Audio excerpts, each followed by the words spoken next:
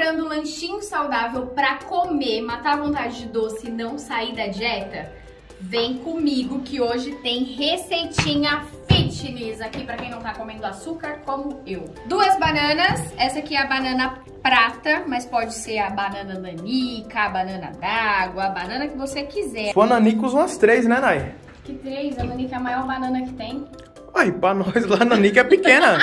Aproveita e comenta aqui qual é a banana nanica da sua cidade. Aqui em São Paulo, a nanica é desta lapa aqui, ó. Ave Maria, ela é, o pequena, é tipo a maçã. tamanho.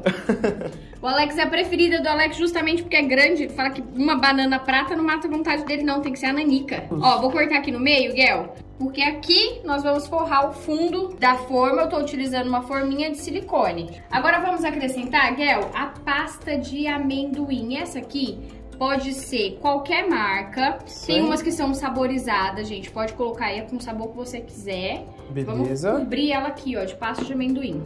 Vamos fazer tipo uma camada de pasta de amendoim, Gel.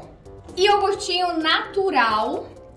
A gente vai colocando por cima assim, ó, Gel. Eita, esse tá consistente, hein? Esse tá bom. Esse potinho pequenininho tem 90 gramas, era o que eu tinha aqui em casa. Então nós vamos precisar de pelo menos dois aí.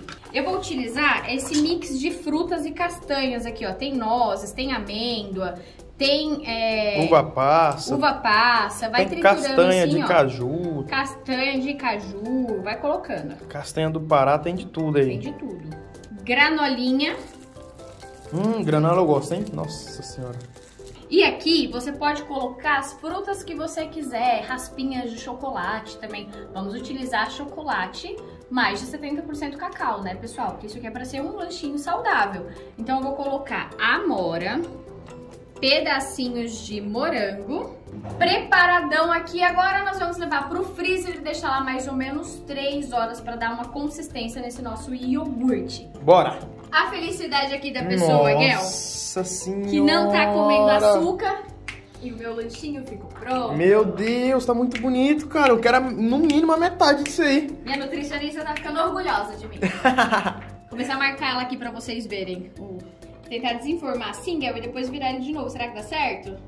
Ó a banana aí, cara. Que bonito. Olha isso. Quem, quem diga que isso aí é saudável, hein? Quem diga, quem diga, quem Meu diga. Deus, olha só.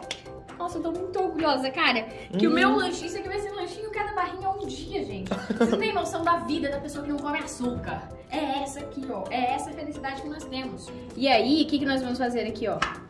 Cortar a porção do dia. Cada dia uma dessa. Cada dia uma dessa, olha isso. Show. Olha.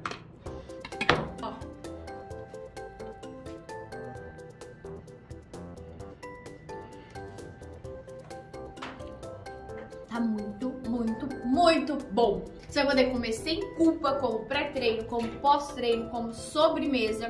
E eu espero que vocês tenham gostado dessa receita. Um beijo, até a próxima. Tchau!